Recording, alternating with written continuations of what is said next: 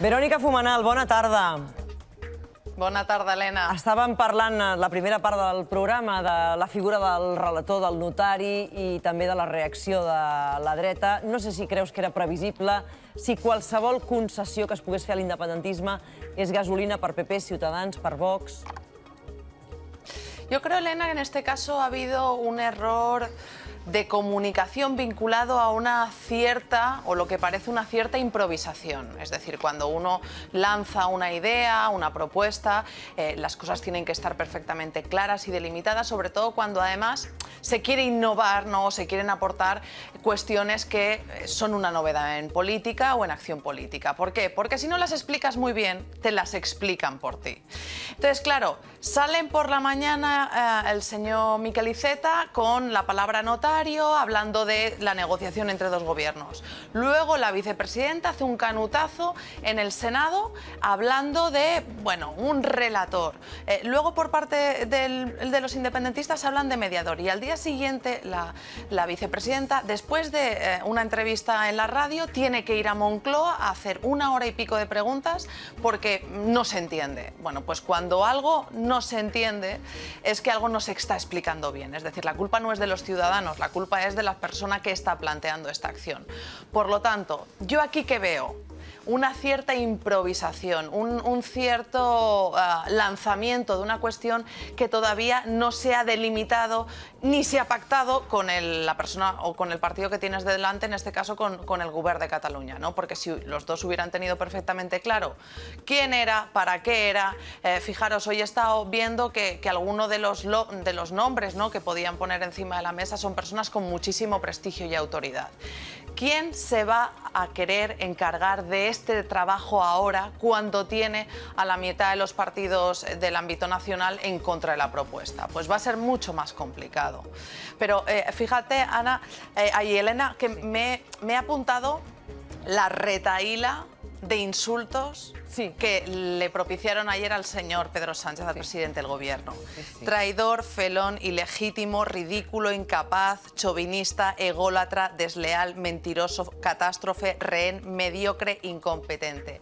Y aún Esto te has dejado algunos. porque- Te has dejado bastantes. Eh, Estos eran así como Te has dejado, los, que, yo también. los que he podido recogido, Es que ¿eh? Yo también me los he apuntado, pero te has dejado... Sí. Tengo el doble. Pues fíjate, yo me acuerdo que, que, fíjate, algo tan, tan curioso como en, en el debate presidencial de las elecciones del 2015, el señor Pedro Sánchez, todavía candidato, le dice al candidato Mariano Rajoy, porque España merece un gobierno, le dijo decente, y usted no lo es. La que se lió con el indecente, que nunca se lo llegó a decir, por cierto, que le dijo, no es usted decente, no le dijo indecente. Bueno, aquella, aquel momento todo el mundo le decía que era un maleducado al señor Pedro Sánchez y a mí, pues la verdad, sinceramente, me llama la atención que después de todo esta, este chorreo de, de, bueno, de insultos que, en acción política lo único que tendrían que traducirse en una moción de censura, porque alguien que ha traicionado a la patria supongo que se merecerá al menos esa reprobación política. Bueno, eh, sinceramente estamos en esa ceremonia del desconcierto. Yo creo que los electores deben estar aterrados porque si les pedimos a pues, nuestros menores que sean educaditos, luego cuando nos escandalizamos, cuando ciertos programas de televisión dicen una palabra más alta que la otra, imagínate esto pues es en sede parlamentaria o en sede política. ¿no? ¿Crees que- Creo que hemos llegado a un nivel de, de apretar un poco el- el freno. De tota manera, creus que l'arribarem a veure la figura del relator? No. No, eh, no eh, yo eh, ya sabes que no me gusta mucho hacer previsiones políticas, siempre me obligas, pero eh, yo creo que no la vamos a terminar de ver, básicamente porque esto debería haber si- sido pactado de base. En negociaciones tan complejas, tan complejas, o se llegan a acuerdos primero y luego se explican después, o, o si se hace a la inversa, todo el ruido mediático hace que contamine la negociación. Esta mañana yo escuchaba al señor Pere Aragonés, no al vicepresidente de, de la Generalitat, Generalitat que él decía, ¿no? Eh, bueno, eh, estamos a punto de conseguir una mesa de partidos a nivel estatal donde estén PSOE, no PSC, PSOE y Unidos Podemos, no Podem en Comú Podem. Dice, pero eh, no se lo digo mucho porque si no voy a estropearlo. Bueno, es que estamos haciendo la casa por el tejado. Primero se llega al acuerdo y luego se comunica de la mejor manera posible, de la mejor, de la más clara posible. No puede ser que una misma figura tenga tres nombres en un mismo día relator, mediador, secretario. Hoy hablaba los de un coordinador. Notario. No, pero esto, no, notario, es, bueno, los notarios ya son otra cosa además, pero es que esto no, no, parece serio, es decir, yo creo que las negociaciones y el diálogo que se está cometiendo entre el Gobierno de España y el Gobierno de la Generalitat es algo necesario, eh, porque llevábamos además muchísimo tiempo pidiéndolo, que a mí me parece una actitud muy cínica que durante muchísimo tiempo estuviéramos, no, esto solo se soluciona con política, con política y con diálogo, y cuando hay política y diálogo estamos todos muy escandalizados, ¿no?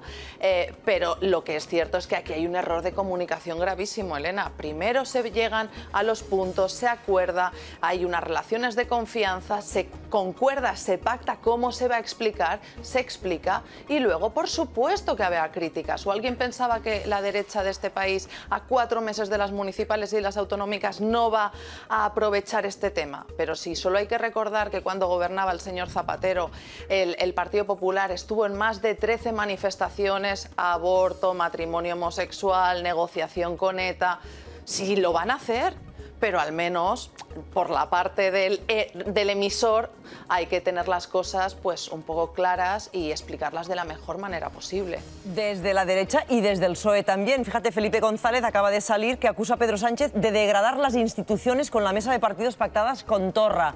Y también hemos que escuchado en las últimas horas a Alfonso Guerra, que deia això sobre la figura del relator. Sentim-lo. Se defienden algunos aclarando que no se trata de un mediador, no es nada, han dicho, solo una persona que tome nota de lo que se dice, ¿vale? Un funcionario, una secretaria o una grabadora podrían perfectamente cumplir ese objetivo.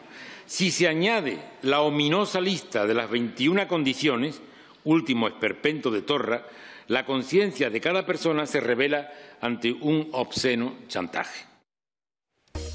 Bé, doncs aquestes eren les paraules de guerra. Què t'han semblat, Verònica?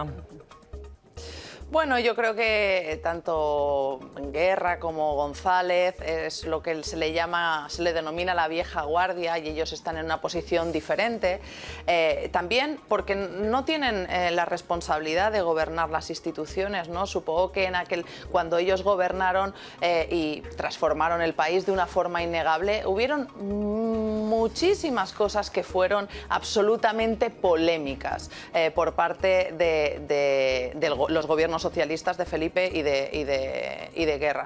Y la derecha estaba ahí para criticarlas de forma vehemente y de forma eficaz. Yo eh, quiero recordar incluso la moción de censura de, de Mancha. Por lo tanto, eh, cada gobierno tiene su oposición y cada uno tiene que tener su papel. Lo que sí que es cierto es que eh, donde apunta Guerra, que allí sí que se le encuentra cierto sentido al discurso, es uno no puede ser no ser nada, es decir, cuando la vicepresidenta explica lo que es, uno no puede desdeñar una figura de este nivel y decir que no es nada, porque no ser nada es no existir. Y por lo tanto uno tiene que decir, esta persona se le va a llamar coordinador, relator, me da igual el nombre que el partido político o el gobierno haya decidido o haya pactado con, con el gobierno de la Generalitat, va a circunscribirse a este ámbito de actuación bien sea la mesa de partidos, las negociaciones entre los gobiernos, yo ahí no me pongo, es decir, pero lo que no se puede decir es lo uno y lo contrario, porque si no en la ceremonia de la confusión todo el mundo pesca y, y es un objetivo muy fácil, claro.